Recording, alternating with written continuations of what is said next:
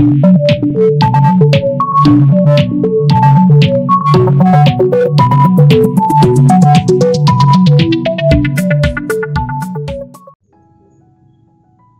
Friends ഇന്ന് നമ്മൾ ചർച്ച ചെയ്യാൻ പോകുന്നത് ഓർഗാനിക്കായിട്ട് എങ്ങനെ ഫെർട്ടിലൈസേഴ്സ് അല്ലെങ്കിൽ പ്ലാന്റിന്റെ ഗ്രോത്ത് പ്രൊമോട്ട് ചെയ്യുന്ന സാധനങ്ങൾ അല്ലെങ്കിൽ പി പി കെമിക്കൽസ് ഏതാണെങ്കിലും ശരി plant growth chemicals plant protection chemicals ഇതിനൊക്കെ പറ്റിയൊക്കെ ചർച്ച ചെയ്യുന്ന ഒരു ഭാഗം നമുക്ക് സ്റ്റാർട്ട് ചെയ്യാമെന്ന് വിചാരിച്ചു. ഇപ്പോൾ ഇന്ന് ഞാൻ ചർച്ച ചെയ്യാൻ പോകുന്നത് എഗ് അമിനോസിഡാണ്. എഗ് അമിനോസിഡ് എങ്ങനെയാണ് ചെയ്യുക എന്നുള്ളതാണ് ഇന്ന് ഞാൻ നോക്കുന്നത്.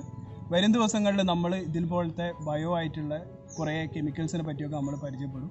കുറേ കുറച്ച് കെമിക്കൽസിനെ പറ്റി ഞാൻ നിങ്ങളുമായിട്ട് ചർച്ച ചെയ്യുന്നതാണ്. ഇന്നിപ്പോൾ ഞാൻ ചെയ്യാൻ ഉദ്ദേശിക്കുന്നത് എഗ് അമിനോസിഡാണ്. പിന്നെ അതുകൂടാതെ നിങ്ങൾ ആവശ്യപ്പെടുകയാണെങ്കിൽ കെമിക്കൽ ഫെർട്ടിലൈസേഴ്സിനെ പറ്റിയും കെമിക്കൽ കെമിക്കലായിട്ടുള്ള ബാക്കിയുള്ള പ്ലാന്റിന്റെ പ്രൊട്ടക്ഷൻ കെമിക്കൽസിനെ പറ്റിയും ഒക്കെ നമ്മൾ ചർച്ച ചെയ്യും. അടുത്ത അടുത്ത വീഡിയോകളിൽ നമുക്ക് ചർച്ച ചെയ്യും. ഇന്നിപ്പോൾ ഞാൻ ഉദ്ദേശിക്കുന്നത് എന്തായാലും ശരി എഗ് അമിനോസിഡ് എഗ് അമിനോസിഡ് എങ്ങനെയാണ് എന്തിനു വേണ്ടിയാണ് എന്നുള്ള കാര്യങ്ങളാണ് ഇന്നത്തെ വീഡിയോയിലൂടെ ചർച്ച ചെയ്യാൻ പോകുന്നത്.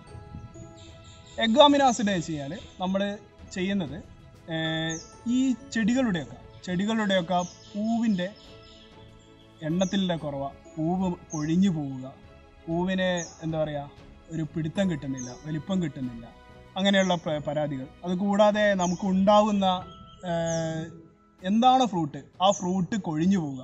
തുടങ്ങിയ ഒരുപാട് പ്രോബ്ലമുകൾ നമ്മളിപ്പം നേരിട്ടുകൊണ്ടിരിക്കുകയാണ് അതിനൊക്കെ ഒരു ബയോ സൊല്യൂഷനാണ് ആക്ച്വലി എന്ത്? നമ്മുടെ എഗ് അമിനോസിൻ അപ്പോൾ ഞാനത് ഉണ്ടാക്കുമ്പം തന്നെ അതിന്റെ ബാക്കിയുള്ള കാര്യങ്ങളൊക്കെ നിങ്ങളായിട്ട് ചർച്ച ചെയ്യാം.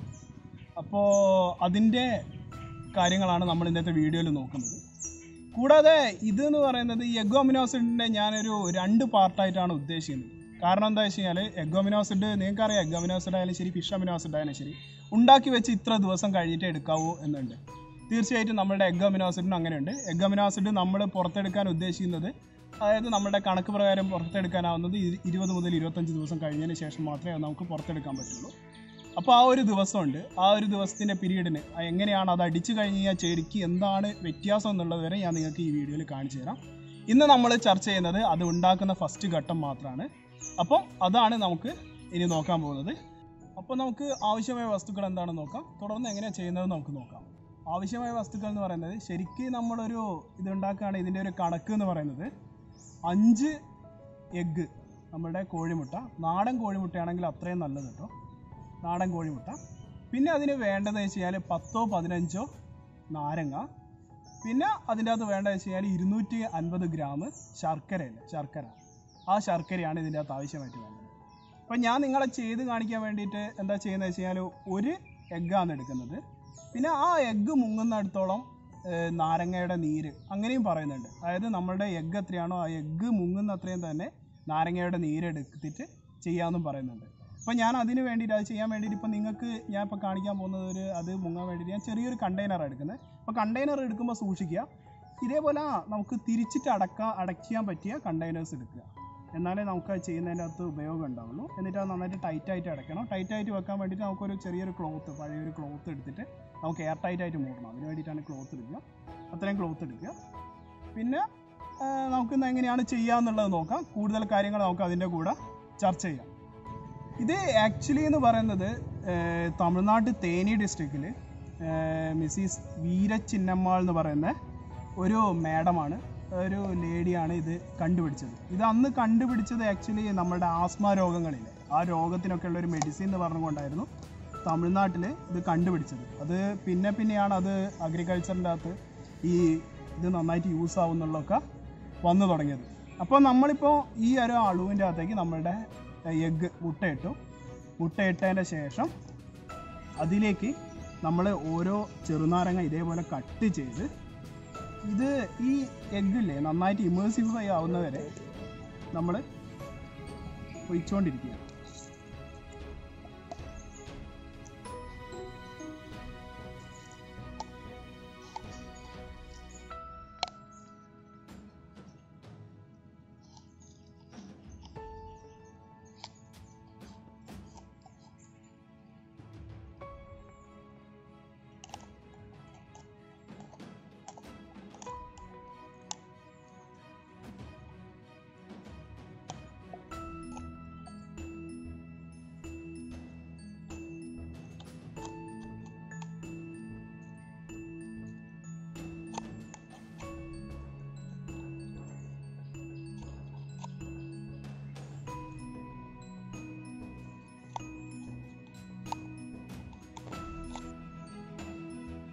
അപ്പോൾ നമ്മുടെ ലെമൺ ജ്യൂസ് ഏകദേശം നമ്മൾ ആക്കിയിരിക്കുകയാണ്.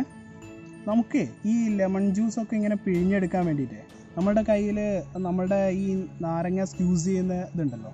ആ സ്ക്യൂസറൊക്കെ ഉണ്ടെങ്കിൽ കുറച്ചും കൂടി എളുപ്പമായിരിക്കും കേട്ടോ. ഞാനിപ്പോൾ എന്താ വെച്ചാൽ പെട്ടെന്ന് പുറത്തേക്ക് വന്നിട്ട് ഔട്ട്ഡോറിൽ നിങ്ങൾക്ക് ഇത് കാണിച്ചു തരാൻ വേണ്ടിയിട്ട് ലൈറ്റിന്റെ ഒക്കെ പ്രശ്നമുള്ളതുകൊണ്ടേ പുറത്തേക്ക് വന്ന് എടുക്കാൻ വേണ്ടിയിട്ട് വന്നുകൊണ്ടാണ് ഇപ്പോൾ ഞാൻ സ്ക്യൂസറും കാര്യങ്ങളൊന്നും എടുത്തില്ല. അപ്പോൾ നമ്മൾ നമ്മളെന്താ വെച്ച് കഴിഞ്ഞാൽ ഒരു കൈ കൊണ്ട് തന്നെ ചെയ്തെടുക്കുകയാണ്. അതുകൊണ്ടാണ് ടൈം എടുക്കുന്നത്. നന്നായിട്ട് യൂസ് ചെയ്തെടുക്കുക. അപ്പോൾ ഞാനിപ്പോൾ ഏകദേശം ഇതിപ്പം ശരിക്കും ഇപ്പം നിങ്ങൾക്ക് കാണാൻ പറ്റും. ഏകദേശം നമ്മുടെ എഗ്ഗ് ഇമേഴ്സിഫൈ ആയി കഴിഞ്ഞു. നമുക്ക് ഈ നാരങ്ങ ഉണ്ടല്ലോ നല്ല മിക്സീന്റെ അകത്തിട്ട് ഒരുമ്പിച്ചെടുത്ത് അടിച്ചെടുത്ത് കഴിഞ്ഞ് കഴിഞ്ഞാലും മതി കേട്ടോ. നമുക്ക് ഇപ്പം ഞാൻ പറഞ്ഞില്ലേ നമ്മളിപ്പോൾ ഇങ്ങനെ കാണിക്കാൻ വേണ്ടി പുറത്തേക്ക് വന്നുകൊണ്ടാണ് ഇപ്പം ഇങ്ങനെ പിഴിഞ്ഞെടുക്കുന്നത്. അങ്ങനെയാണെങ്കിൽ എനിക്ക് തോന്നുന്നത് നിങ്ങൾക്ക് കുറച്ചും കൂടി ഈ നാരങ്ങയുടെ കണ്ടന്റൊക്കെ കുറച്ചെടുക്കും നാരങ്ങ കുറച്ച് കുറച്ചൊക്കെ എടുത്താൽ മതിയാവും. എടുത്തു കഴിഞ്ഞാൽ പിന്നെ വെള്ളം കൂട്ടാതെയൊക്കെ നോക്കുക. അപ്പോൾ എടുക്കുന്ന സമയത്ത് കുറച്ചൊന്ന് കെയർഫുള്ളായിട്ട് തന്നെ ചെയ്തെടുക്കുക. ഇതും ഏകദേശം എന്ന് പറയുന്നത് നമ്മളിപ്പോൾ ഒന്ന് രണ്ട് മൂന്ന് നാല്. നാല് നാരങ്ങയുടെ അടുത്താണ് എടുത്തത്. കുറച്ച് വലിപ്പമുള്ള നാല് നാരങ്ങയുടെ അടുത്ത് നമുക്ക് എടുത്തു കഴിഞ്ഞു. അപ്പോൾ ഏകദേശം നമ്മളുടെ മുട്ട അതിന്റെ അകത്ത് ഇമേഴ്സിഫൈ കഴിഞ്ഞു. മുങ്ങിക്കഴിഞ്ഞു കാണാം നിങ്ങൾക്ക് കാണുക. ശരിക്കും അത് മുങ്ങിക്കഴിഞ്ഞു. കാണാൻ പറ്റുമെന്ന് വിചാരിക്കുന്നു മുങ്ങിക്കഴിഞ്ഞു അതിന്റെ അകത്ത്. അപ്പോൾ ഇങ്ങനെ മുങ്ങിക്കഴിഞ്ഞതിന് ശേഷം നമ്മളിത് എന്ത് ചെയ്യുക വെച്ച് കഴിഞ്ഞാൽ നന്നായിട്ട് എയർ ടൈറ്റ് ആയിട്ട് കിട്ടാൻ വേണ്ടിയിട്ട് ഒരു ക്ലോത്ത് എടുക്കുക. ക്ലോത്ത് എടുത്തതിന് ശേഷം ഇത് തുണി വെച്ചതിന് ശേഷം അതിന്റെ മേലെ ടോപ്പ് ലിഡ് ഇടുക. ടോപ്പ് ലിഡ് ഇട്ടിട്ട് നമ്മളുടെ മുകളിലുള്ള ലിഡ് ഉണ്ടല്ലോ ആ ലിഡ് വെച്ച് നന്നായിട്ട് എയർ ടൈറ്റ് ആയിട്ട് കിട്ടുന്ന രീതിയിൽ നന്നായിട്ട് ടൈറ്റ് ചെയ്ത് വെക്കുക.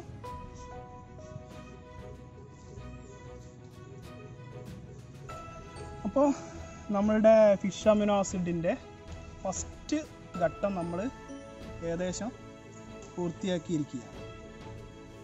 ഇതൊരു ഇരുന്നൂറ്റി അമ്പത് എം എല്ലിന്റെ ഒരു ചെറിയൊരു കണ്ടെയ്നറാണ് ഞാനിപ്പോൾ ഇത് ഉണ്ടാക്കാൻ വേണ്ടിയിട്ട് ഉദ്ദേശിച്ചത് എടുത്തത്. അപ്പോൾ നമ്മൾ അതിന്റെ അകത്ത് ചെയ്ത് കഴിഞ്ഞു.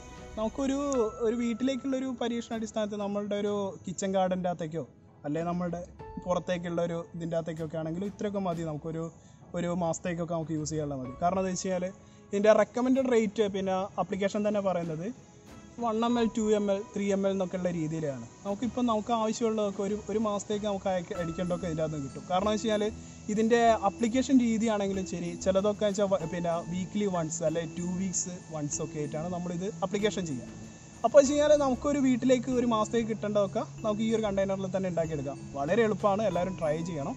പിന്നെ ഇതിന്റെ അകത്ത് ഇത്രയും ചെയ്തതിന് ശേഷം നമ്മളിതിനിപ്പോൾ ഒരു കറക്റ്റ് ഒരു പത്ത് ദിവസം പതിനഞ്ച് ദിവസത്തിനുള്ളിൽ നമ്മളിതിപ്പോൾ അടുത്തെടുക്കും. അടുത്തെടുക്കുമ്പോഴത്തേക്ക് നമുക്ക് ഈ മുട്ടയുടെ തൊലി ഉണ്ടല്ലോ മുട്ടയുടെ തൊലിയൊക്കെ നന്നായിട്ട് അതിന്റെ അകത്തേക്ക് അലിഞ്ഞു ചേർന്നിട്ടുണ്ടാവും. അലിഞ്ഞു ചേർന്നിട്ടില്ലെങ്കിൽ നമ്മൾ എന്ത് ചെയ്യുക വെച്ചാൽ ചെറുതായിട്ടൊന്ന് തട്ടി തട്ടിപ്പൊട്ടിച്ച് അതിന്റെ അകത്ത് ഇട്ട് കൊടുക്കും. അതിന്റെ കൂടെ ആണ് നമ്മൾ എന്ത് വെച്ചാൽ നമ്മുടെ ജാഗിരി അഥവാ ശർക്കര. ആ ശർക്കര എടുത്തിട്ട് നമ്മൾ വെച്ചാൽ ഒരു ചെറിയൊരു പാവ് കാച്ചും. ആ പാവ് കാച്ചിട്ട് നമ്മളതും ഇതിന്റെ കൂടെ മിക്സ് ചെയ്യും. അപ്പോൾ നേരത്തെ തന്ന അളവുകളൊക്കെ നിങ്ങൾ ഓർമ്മിക്കുന്നുണ്ടാവും ഓർമ്മിക്കുന്നുണ്ടാവും എന്ന് വിചാരിക്കുന്നു. അതായത് ഇതിന്റെ ശരിയായ അളവ് എന്ന് പറയുന്നത് അഞ്ച് മുട്ട അഞ്ച് മുട്ടയ്ക്ക് പത്തോ പതിനഞ്ചോ ലെമൺ ഇരുന്നൂറ്റി അമ്പത് ഗ്രാം ശർക്കര. ഇതാണ് നമ്മളുടെ ഒരു ഐഡിയൽ ആയിട്ടുള്ള ഫിഷ് അമിനോ ആസിഡിന്റെ ഇതെന്ന് പറയുന്നത്.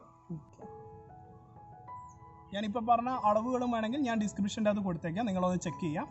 പിന്നെ ഇതിന്റെ അകത്ത് എന്ന് വെച്ച് കഴിഞ്ഞാൽ ഈ ഈ ഫിഷ് ഈ എഗ് അമിനോ ആസിഡ് നമ്മൾ യൂസ് ചെയ്യുന്നത് എന്ന് പറയുന്നത് കഴിഞ്ഞാൽ നമുക്ക് ഈ ചെടികൾ ചില ചെടികളുണ്ട്. പൂച്ചെടികളായാലും ശരി കായകൾ ഉണ്ടാവുന്ന ചെടികളായാലും പച്ചക്കറി ചെടികളായാലും ശരി നമുക്ക് പൂവ് ഉണ്ടാവും പൂവ് ഉണ്ടായിട്ട് എന്താ ചോദിച്ചാൽ അത് കൊഴിഞ്ഞു പോകും. ഈ അനാറിനൊക്കെ ആ പ്രശ്നങ്ങളൊക്കെ കാണാറുണ്ട്.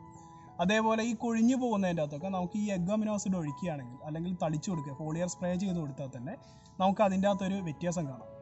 അതേപോലെ ചില ചെടികൾക്ക് എന്ന് ചെടിയുടെ അകത്ത് പൂവ് ഉണ്ടാവും കായ് ഉണ്ടാവും. പക്ഷെ കായ്ക്ക് വലിപ്പം ഉണ്ടാവില്ല.